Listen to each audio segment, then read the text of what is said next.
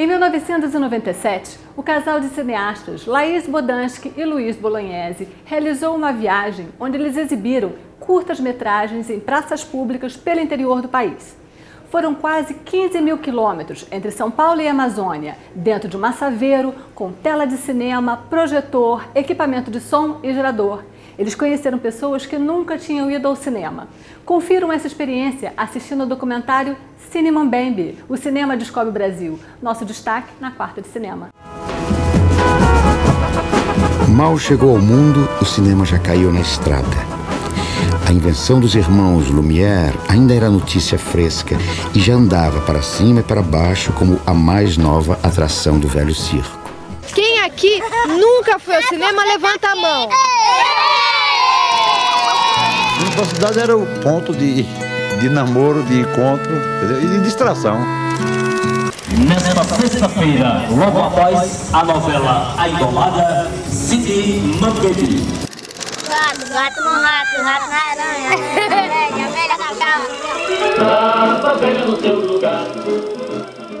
Na Quinta do Pensamento, o antropólogo, pesquisador musical e roteirista de televisão Hermano Viana fala sobre suas preferências literárias na série Livros que Amei.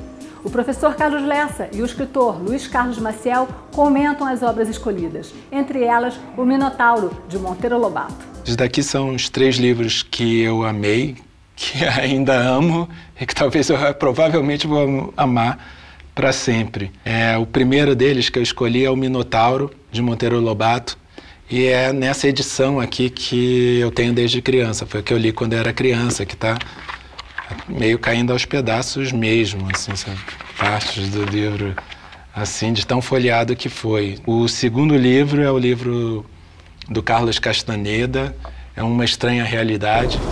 A Margem do Concreto, de Evaldo Mocarzel, é o segundo documentário de uma tetralogia sobre São Paulo. O filme acompanha a atuação de várias lideranças que promovem atos de ocupação na região central de São Paulo. Confira na Sexta da Sociedade. Aqui é a situação do banheiro, pessoal. Esse é o banheiro que o pessoal usa. A gente precisa dar uma olhada, explorado, realmente. Pelo valor do Pelo valor do aluguel. Paga imposto de água, paga imposto de luz, paga imposto de, de telefone e não tem casa para morar. Eu acho que esses prédios vazios tem que ser tudo ocupado pela população pobre. Tinha que ser reformado, tinha que estar morando famílias que não tivessem condições nenhuma. Que democracia é essa?